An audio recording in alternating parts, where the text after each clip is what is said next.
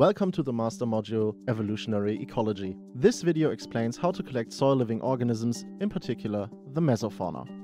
We collect animals from two different habitats, from forest and from grassland. The second part shows how we extract animals from the soil matrix and how to collect them for storage and further analysis. Mesofauna are animals that are smaller than 2 millimeters. You cannot see them with your bare eyes, not to mention collect them directly from the field. You need to collect the animals with the environment in which they live and then extract them slowly from the soil.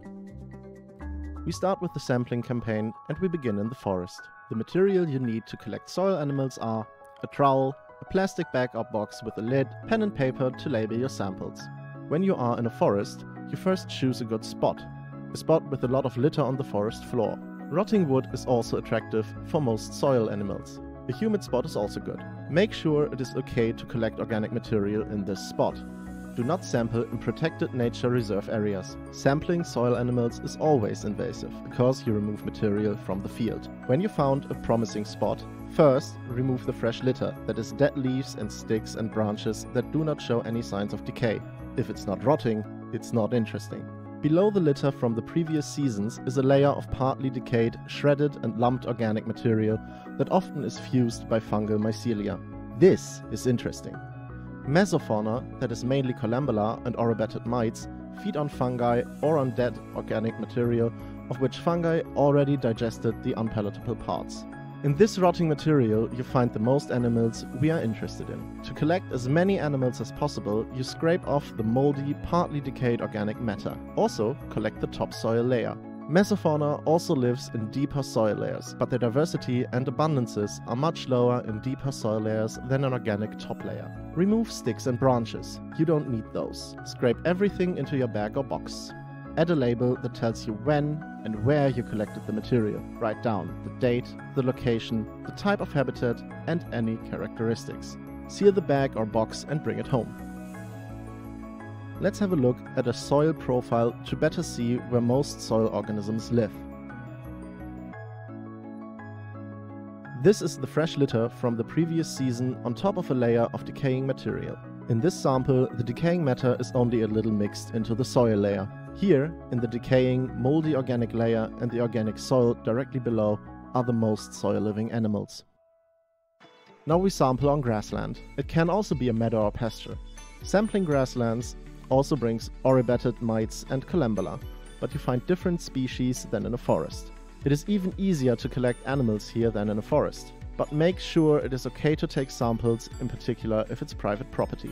You need a spade, a plastic bag or box with a lid, pen and paper to label your samples. With a spade, you cut out a piece of grass with soil. In the top layer are mosses and decaying organic material. Here you find the most animals. You only need to take the top 5 to 10 centimeters of soil. In this sample, it is a bit much of soil. You can dig less deep. Try to keep the grass patch intact and put it into your plastic bag or plastic box. Add the label with date, location, habitat and characteristics. Seal the container and carry it home. Bring your collected material to the Institute and we will do the following extraction steps so that you can use your own material during the course. Alternatively, if you like, you can do the following soil animal extraction for a small sample or several small samples at home too. At the end of the video, you will find some helpful links.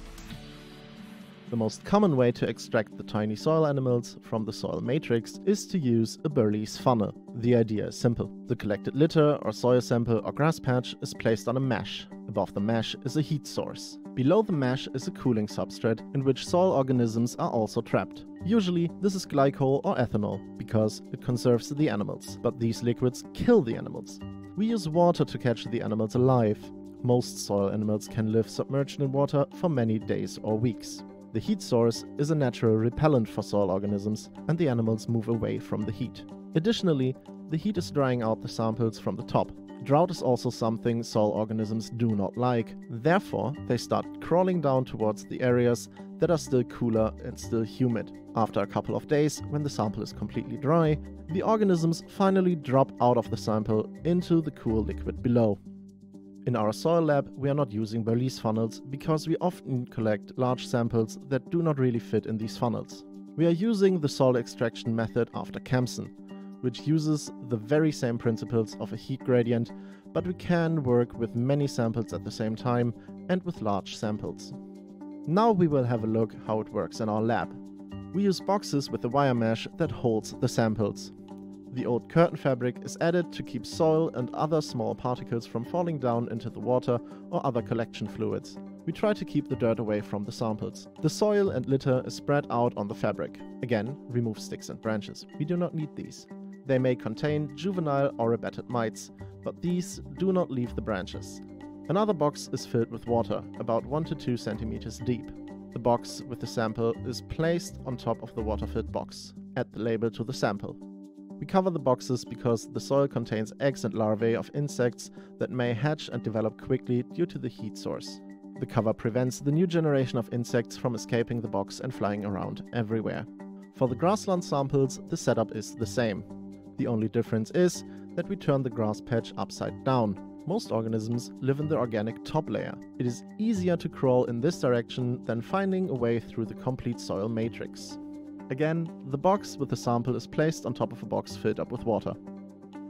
Add the label and cover up the sample. Now, the stacked boxes with our samples and water below move to these cabinets, which we call Kempson extractors. The bottom plate is constantly cooled. Remember, soil organisms like it cool and humid and will move towards the cool ground. On top, there's a radiator, which is the heat source. To control the temperature, we place a thermometer connected to a thermostat in one sample.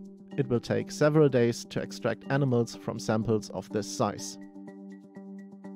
We constantly increase the temperature in these cabinets, starting with 25 degrees Celsius at day 1 and increase the temperature by 5 degrees Celsius every day for one week. It is important to take enough time for soil animal extraction. If temperatures are too high at the beginning and the soil samples dry quickly, many animals do not have enough time to move away from the heat and the drought and die on their way without having a chance to drop into the liquid below. After one week, the samples usually are completely hard dried and the soil organisms have had enough time to leave the soil and drop into the water filled box. This is what you often find in soil samples.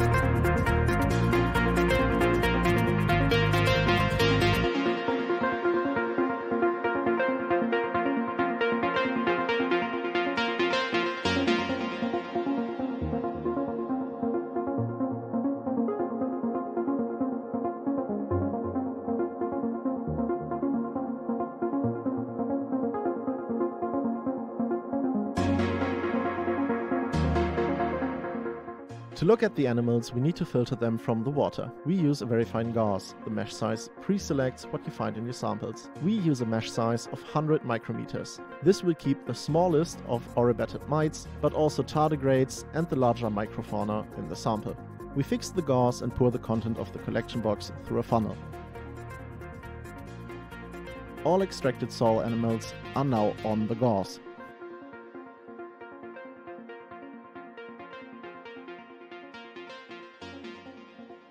We flush everything on the gauze into a smaller collection tube. From this point on we use ethanol. This kills the animals, but conserves them and their DNA.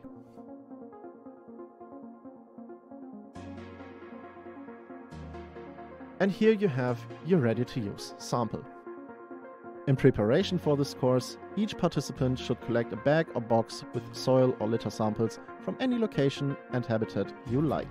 You can also collect mosses from tree trunks or swamps, if these are not protected areas or species. A collection from different sites and habitats will provide us with a greater diversity of species. Bring the sample to the Institute of Animal Ecology. We keep them cool and start the extraction so that they are ready to use on the first day of the course. Additionally, you can bring your own extracted samples. On YouTube, you find tutorials to craft your own Berlese funnel. Remember, it will take a couple of days for the animals to leave the soil matrix. Before starting the extraction, you can fetch collection vials and ethanol from my office. More details for your own sampling campaign and the deadline for bringing your samples to the Institute are outlined in the same email that contained the link to this video. Have fun on your sampling campaign. See you in the course.